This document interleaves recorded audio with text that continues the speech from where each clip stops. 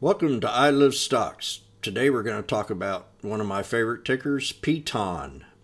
Peloton, Peloton. Why did Peloton stock pop today?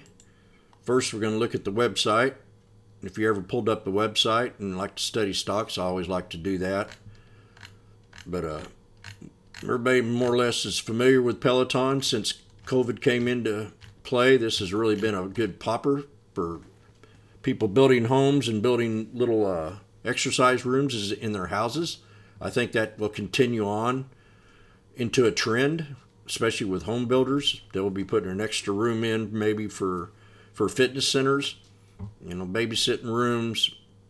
So yeah, this is a change of course. COVID is for Peloton. What I like about Peloton today is why it popped so, you know, why it popped on the news on the 10th is Beyonce. Beyonce is in the news, as we all know. She is going to be the new sponsor for Peloton, which I think is a really good, classy way to go. So she'll make some extra money just by getting on that bike and doing a little bit of exercising. I think that's a good catalyst to bring more attention to the company. So I'm excited about Beyonce, and if you ever want to come to our room and learn what the J Lo bottom play is, give us a shout. I love stocks. But that's J Lo and Beyonce, and I think it's going to be a good catalyst. Uh, partnership with Beyonce, the endorsement of the product is a win for the company. Is creating a buzz of number of Peloton users.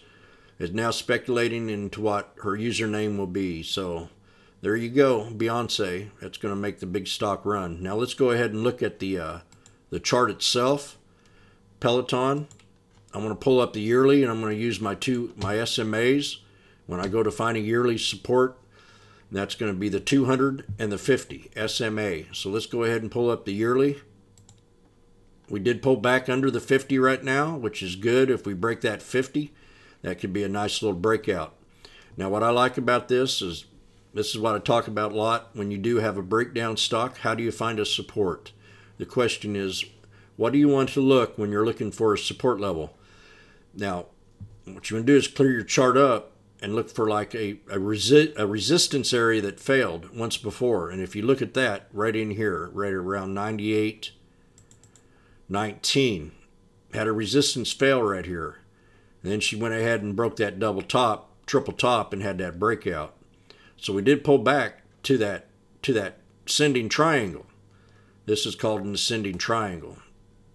So that's a real strong support level for the first support.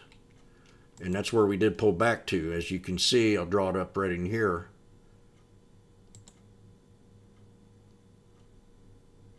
And it broke out way before that. I mean, you could probably cattle it right there and then bring this across right in here.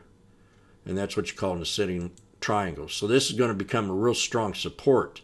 That's what you look for when you're looking for a bottom. Now I want to play it safe in case we do have another pullback, we did pull back to this 92 area. So I'm going to look for an equilibrium on this chart for a support level, and I'm seeing it right around this 9076. So that's where I'm going to put the lower support at 9076, somewhere in that area. Right there where we had that fat finger right in here. But I'm going to bring it down just a little bit and adjust it.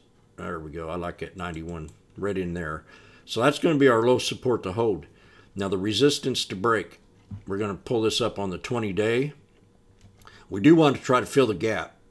And that's going to be right here at 110. So if we can get to the 110, that's going to be my exit spot. Support level is going to be so far at 98.19. Now let's pull up the 20 day. See if I missed anything. We do have a resistance to break, and that's going to be right up in here on the 20 day, and I'm thinking right about in this area right here at 107.43. If we can build that above that, that'll be great. Now the pullback in between this channel, we're going to look for a pivot point. It's going to be right around here, right around 103.26 to this number right in here. I like this area right in here too. But I want to bring it up just a little bit to 104. Bring that to right there. Then I'm going to color that in Let's go to the five day. This little area right in here is going to be a pivot point. So if I think it can pull back, it can pull back to that area right there. This is how you try to find support levels. See, we've consolidated for, what, three days down here now? We've created a channel. When you see things like this, you have the pullback, you have the descending triangle, and then she kind of held this channel. So that's when you see a channel like this, you might be reversing back up to reversal. And you're going to maybe even could run it back up here to 117.02. That'd be a long scenario. Right in here. We'll, just chalk it in right in here. Right there. 117.17. So that's going to be our goal to get to that level right there. But to get there, we got to break these two resistance levels at 110. So we've got three exit areas. We've got two exit areas. 110, and then we're going to look for a little area in between here that I think I think we could have us another resistance level, and that's at 114. So the ideal trade to take with Peloton right now, and we're going to go back to the 20 day, is to keep it in this channel. We are building an ascended triangle right in here. And that's on the two day, and I'll show you exactly why it could break out today and move higher. Right in here to right there, and then you got the ascending triangle again. And I talk about these a lot. So that's the resistance we got to break at 107.43. If we can get above that, we're definitely going to go up into this other channel. And that's where you're going to exits are going to be. It's going to be between 110 and 117 with a pivot point right around 114. Right now we're at 107.40, so we are getting ready to break that resistance level. Remember, sending triangles are bullish, especially on a downtick like this. It's going to be a beautiful play back up to break into resistance level of 117 long. And if she keeps on running, bring her on up higher. But I think this is going to be a nice little gift for Christmas. Uh, they are bringing the prices down also for to be more affordable for the middle class. And I think that's another good catalyst for Peloton to maybe find some support down here in this channel and to break back up into resistance. No, it's not going to go to the moon, but we do find got to find an equilibrium in this 20-day chart. And that's going to be Peloton. I love stocks. So always remember, Beyonce is backing her up, endorsing. That's going to be a good catalyst for this stock to maybe move back up.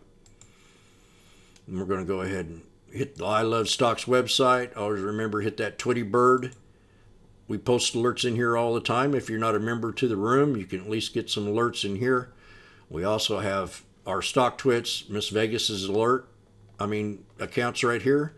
She's really got some good followers, 7,900 followers. Follow her leads. She posts some of my alerts in here also.